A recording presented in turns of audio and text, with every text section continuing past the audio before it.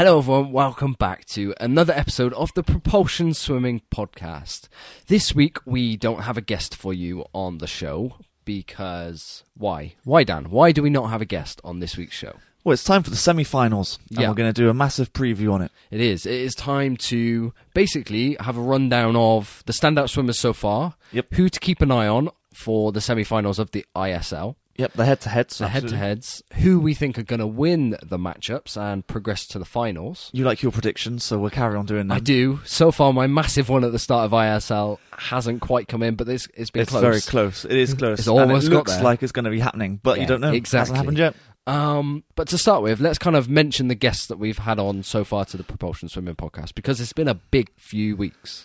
They've been some super guests, haven't they? Yeah. So we started out this podcast looking to promote British swimming and give it a bigger name and a bigger platform to grow and for athletes, not just professional athletes, but anyone in the world of British swimming to Give them grow, to give, Give them, them publicity, coverage. Exactly. Absolutely, yes. Exactly. So over the past three weeks, we targeted ISL Mhm. and we said, right, we are going to try and speak to up and coming British swimmers. That was the idea, yes. And boy, did we hit the nail on the head. We did. We've had three amazing guests Amazing so far. guests. And they have all done amazingly well. They've all hit PBs. They've all hit PBs, absolutely, yeah. Can't ask for Um, much more. There's been a few British records, several club records broken Yes. by them. Yep, yep, yep. Um, so we can't ask for anything more. And all of them are swimming in the semi-finals. All of them, yes. They've all made it to the semi-finals for the first time, I believe. Is that right? Yeah, the right New York? Breakers, it is their first time. So course, Joe Titans as well. Litchfield and Abby Wood. And the Titans, it is their first season, and they've got to the s- Semi-final. semi-finals as Yes. well. Yep. So yes, it's the first time for all of them racing in. Wow, I can't believe I'm saying this about swimming. Knockout swimming. Well, this is what it's all about. This is what the ISL is about, and it's great. Absolutely awesome. It sounds very American. It let's, does, let's, let's be honest, but that is what ISL has been. It has been, Essentially, it's the playoffs now, isn't it? yeah, it's been a bit like the NCAA format. If anyone doesn't watch it, give it a give it a look. It is on what's it on ESPN UK every now and again. I'm assuming so. It's all American broadcast. Yeah, Sport definitely. maybe. Essentially. Um, but that's really fun to watch, and it's all about points rather than times, which us viewers at home we have struggled to grasp at times. But I think we're there now. Semi-finals are here. We're understanding points. We don't really care of them. World records getting broken. The times aren't the focus. no, the commentators do talk about the times very little, but it's all about the placings. And Well, the they don't come up on the screen, do they? No, only when they finish, and then that's once it comes up for like literally a split second or so, and then it's all about the points and the jackpot and all the rest of it. Yeah, and we could get into that massively, but what we're going to do is once ISL's over, we're going to do a big review show. A whole review, yeah. a whole review saying our likes, our dislikes, what we hope changes next year, what we hope stays, Mhm. because there are some big things that we hope stay. Oh yeah, absolutely. Um, just the changes tease- that happened this season. exactly. I was just going to tease the the bubble. I actually hope that stays. I really do. It's worked quite well, to be fair. Yeah. And the fact that they don't have to travel, they can train at the same place, Mm. and you know the, the time difference has no effect. So yeah, maybe because that's what Jay was saying. He was like he actually prefers it being in the bubble sort of situation. Exactly. But let's not get into that too much right now. So no, no, Let's talk semi-finals Mhm. because they're here. Two teams have gone home already. So the Aqua Centurions, yes, which is a bit of a shame because they had one of the strongest men's rosters. I think in they the were, whole they- I competition. don't think they. I think they were unbeaten, weren't they? In the Their, men's their relay, freestyle relay definitely yeah. were. They had they shaped they got very close to a few world records in Yeah. Szabo was uh, very, very Crazy. good. But I used- unfortunately, the female side of it, they lost. I think it was 19 swimmers due to COVID lockdown that weren't able to attend. a lot of it was from the Italian. Italian, yeah. So, so, yeah. Pellegrini came in the last round, which was too little, too late. Yeah, yeah, and she was a little bit off form just because she hasn't. She's, Yeah, the exactly. rustiness was still there, so so she was still shaking off a bit of rustiness. And that's why she didn't perform as well as she did. yeah, everyone else was up to speed. Yes, and yeah. It was kind of a massive disadvantage. And the other team that's gone home is the DC Trident. yes, which yeah, they I feel bad for them because they had some big swims. They are almost the talent of American swimming coming through. So Zach Apple was the big standout name Yes, yeah, they were. They had um, Jacob Pebley as well, who Yeah. also did very well. again, but they were just missing a big big name swimmer. Basically, they lost a few of them. So Cody Miller usually races for them. He decided not to come this year, Yes, and yeah. I think last year they might have had Blake Pieroni who transferred He over transferred to to- Toronto. yeah, that's right. So they they kind of lost their big name sprinters. Yeah. Um, so they didn't really have their chance of getting any jackpot points. yeah, you know, exactly. you know, and they had a bit of a tough draw with who they were racing. Yeah, they did. Yeah, yeah. Um, but hopefully they all come again next year, even stronger. Hopefully stronger. Yes, more definitely. more swimmers involved, hmm and we can't wait to see them again. Yeah, until next year, definitely. It's always good to see them in the uh, in the pool racing. It's always Yeah. nice. Okay, so semi-final number one. Who's in it? So ranked number one, if you like, in this semi-final is Energy Standards. They Yep. finished second overall in the regular season. The reigning champs. The reigning champions, of course. Yes. Then there's London Roar, Tokyo, and then there's also the New York Breakers as well. Okay, So who do you think out of those four is going to progress onto the final? so I say energy standard are nailed on just because, if anything, ISL has shown us recently how important 50 swims are.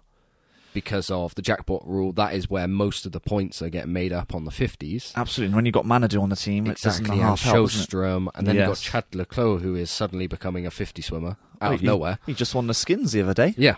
Incredible, so right? They have so much strength and depth in the 50s. They may not have it in other areas, hmm although I say that they have probably the best 400 freestyler in the in the world right now. For me, Rapsys is going to be winning the world's. Uh, he's going to be winning the uh, Olympic gold. Yeah, based on what he's doing right now. if he counts right. If he counts, right. It's a bit easier when it's long course. when it's long course, yeah, yeah, yeah. Um, so I'd say energy standard. I don't think we even need to consider it. I think they're through. They've been messing about with the skins, choosing whatever they feel like. well, you know, there's four matches Mm. in in the regular season. I think they've done. They've purposely picked each stroke Yeah, well, So- they just to give everyone a run out. the massive advantage they have is they have the number one and I think the number two ranked. Men's is number one ma- ranked medley relay. Mm. So every time they've raced, they've picked skins. Yes, yeah. And then the number two ranked free uh, women's Medley medley. Yeah. So the only problem they might have going forward is if Roar, who are ranked number one in the women's, if Yes. it comes down to skins, Yeah. Roar are going to pick breaststroke, obviously, I would have thought so for Atkinson. Yes. and Energy Standard do not have a fast female breaststroker. no, that would be the. Uh, That would be the, The problem only for them. problem I see for them. Going forward, probably not in the semi-finals, because before the skins they should pick up enough points, let's be honest. yes, yeah. But going into the final, there are what LA Current, Roar. There are some big breaststroke teams left, which could really stuff them. Uh, yes, yeah. I think if in, if we're talking about the semi final, I don't think they've got any problem progressing. No, I think that when we talk about the final, that comes that'll be a later episode, I think. But for this episode, they've got no problem qualifying. Hmm. I don't think. Um, you've got a, a thing with London Roar at the moment. See, I thought they were going to be winning the whole the whole ISL. yeah. That's what I thought. So, I think looking at their swimmers, a lot of their strong British core are in the middle of a massive training block. I think you can tell by the times they're hitting out, they're not the fastest in the world. Freya Anderson, yeah, she's killing it. She's doing very well. Yeah. But the guy side, it looks like they are training hard right now, so the times aren't quite there. And then when you go into this match that we're talking about now, the other teams they're facing, Mm. London Roar's big point scorers are up against people who can beat them, which is the problem. So where other teams have weaker matchups, they're they're weaker as well. If that makes sense, their strengths are counteracted by other teams' strengths. So, think, for example, um, we look at the men's breaststroke, the short, the the fifty and the one hundred breaststroke. Yes. Yeah. Adam Peaty is without a doubt their best swimmer. yes. Yeah. I don't think he wins either of those. Well, actually, because he did the skins the other day, didn't he? Mm. And I didn't pick him to make the final, let alone even win it. No, you kind of wrote him off. I thought he'd get he'd get through the first round, and I thought oh, that's he's his his starts and turns are just not up to scratch, especially when you got Dressel in the in the pool and Kosecki in the pool. yeah, yeah, yeah. And I thought he's he's not going to make it. Swim speed, absolutely, he's the fastest swimmer there, but because it's short course, it just it's I it picks up on his starts and turns Mm. so much. But uh, yeah, he he does pick it up because he's a he's a fierce competitor. You yeah, can he see how is. He up. is. But if you if you think Roar need a lot of their points, will or they will be looking for a lot of their points to come from, let's say Adam Peaty in the breaststroke, hmm Yeah. who is going to they they'd hope for a jackpot time because he is faster, but Shymanovich from Energy Standard is perfectly equal to him right now. As of right now, at the moment, yeah, So especially that- short course, yes. that's a dangerous game to to play. They could lose a lot of points there. Yep. The The butterfly Chad's pretty much got, I would have thought, unless you can think of a Roar summer. no, Okay, not to compete form, with him anyway. Not on form. No. Women's side, the backstrokers, they should wipe the floor. Yeah, And Kira Toussaint's doing very well. backstrokers, breaststrokers, women's side, they should wipe the floor with everyone there. yes, yeah. The danger is Sjöström will then take all the points back when it comes to butterfly and freestyle. Yes, it's whether you can prevent her from getting the jackpot points, really. Um, but she's doing really well at the moment. I mean, she did have an injury, didn't she? Had- I think she had a lower back injury or something. Well, she so did, and then the next match. round she raced eight events or nine events, and then just went mad and was she hitting MVP. 50 point for 100 free. yeah, yeah. exactly. So I don't think there's anything wrong with that. I think Energy Standard have been very smart with who they've rested when. Well, that's the other side of it because Peaty didn't race the last match for London Roar, Well, nor did Manaudou, and nor did Manaudou, so they are they are resting the big boys. Yeah. So yeah, So if we go back to my point, my Mm. worry for Roar is their big point scorers aren't going to get the points they need, and you're going to start looking behind you Mm. at Tokyo, who have big point scorers in, say, all of the IM races. all of the IMs. Yes, They have a big point scorer in the men's backstroke in Irie. yes, that's true. It it then becomes a game of, ooh, we're not going to score many points in this race. They are.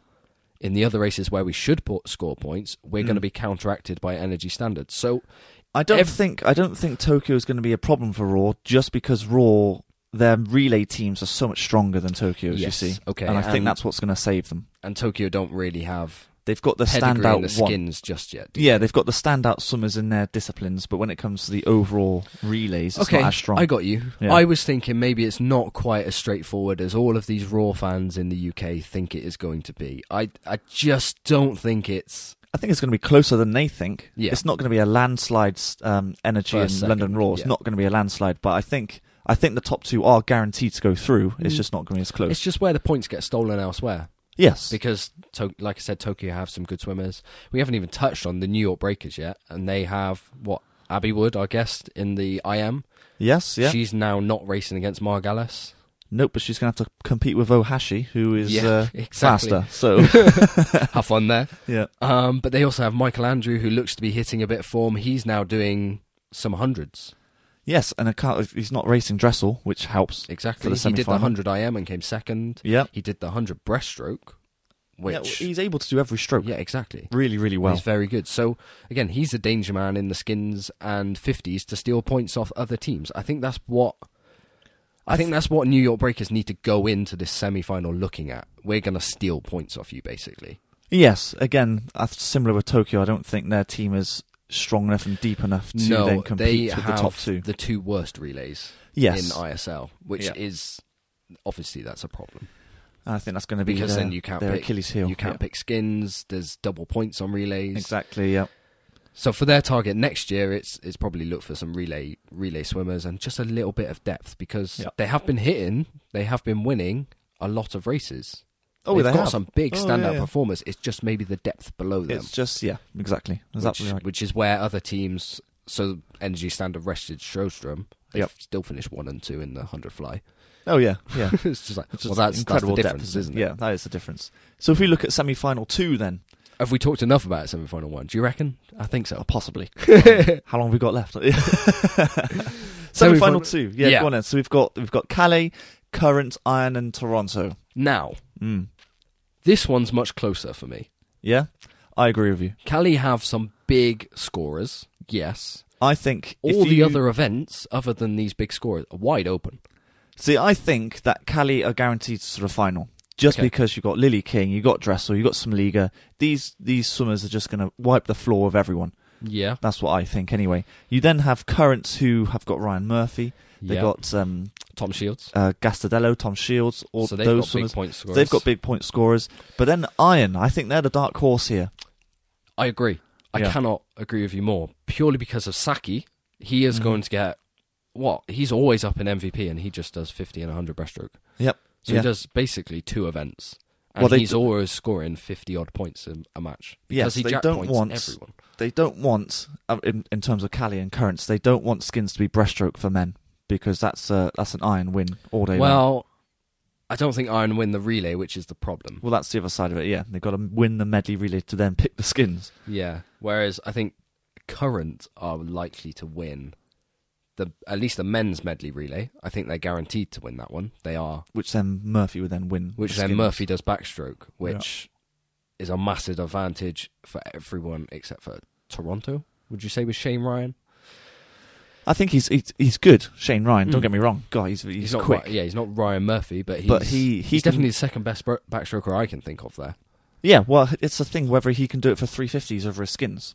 Well, he gave it a go, didn't he? But yeah, oh, yeah, He's already raced Murphy, so he's got experience now. oh yeah, definitely. But yeah, Iron, it, like you've got comma. I can't even say her name. You've got. Renomi Cromwood Yo-Yo there we go. Thank you, Dan. Saved you. so you've got her, and she she's the same as Sjöström. She races all the fifties, all the hundreds, Flying and back, yep. she is going to A get flying free, sorry. flying free. Yeah.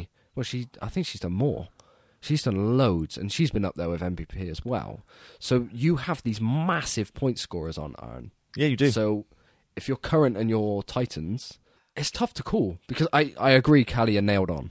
Yes, I really do just because of Dressel. Just- I'd like just even Lily dominates. King. Yeah. Dressel is next level. I know Yeah. Lily King went what was it thirty matches unbeaten.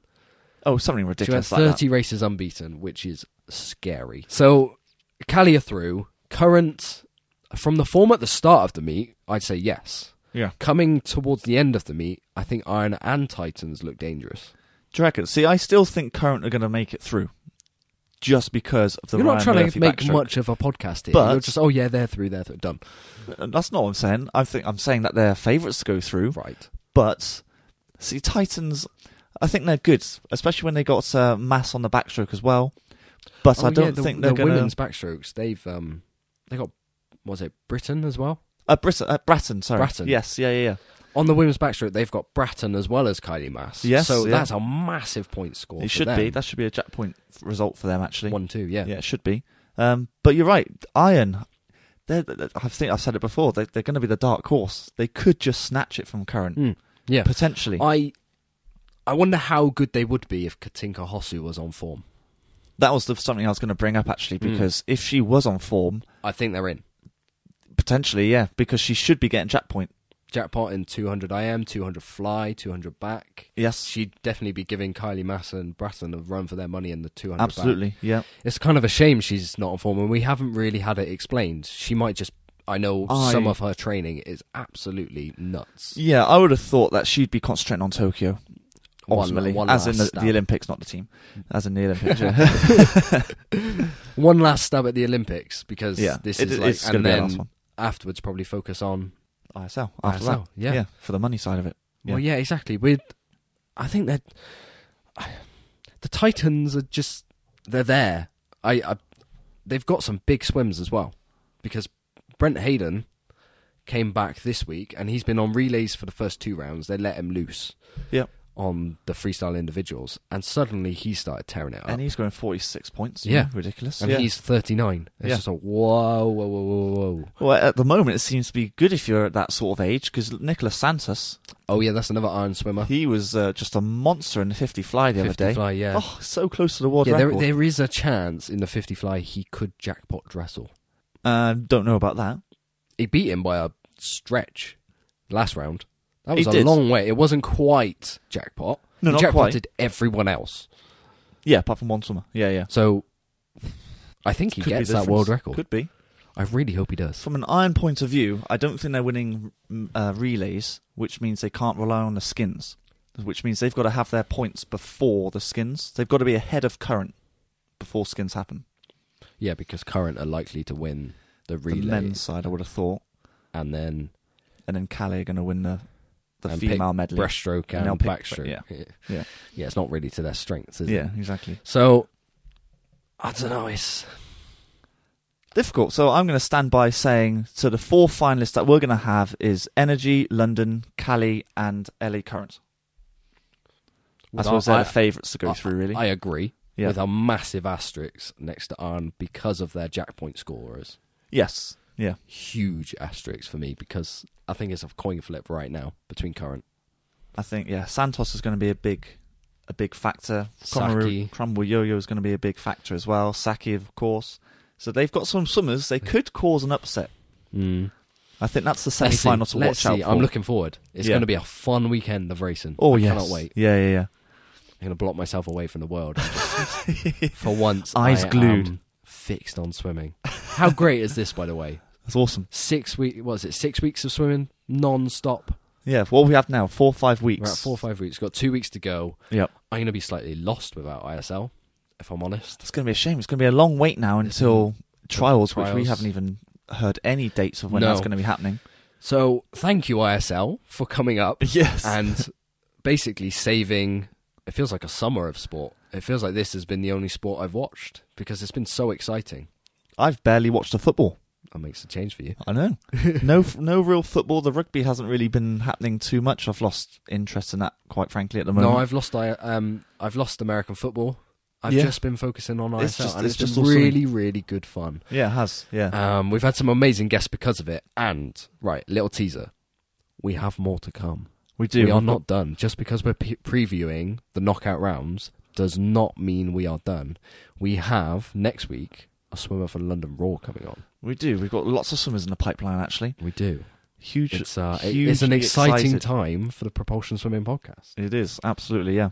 Okay, so if you are interested in hearing more of these these interviews Mm. that we have to come, and if you have previously enjoyed the ones we've done so far, why don't you leave us a five star review on Apple Podcasts?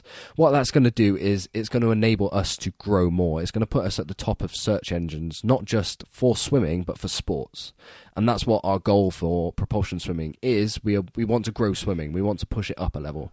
So a five star review is really going to help us out.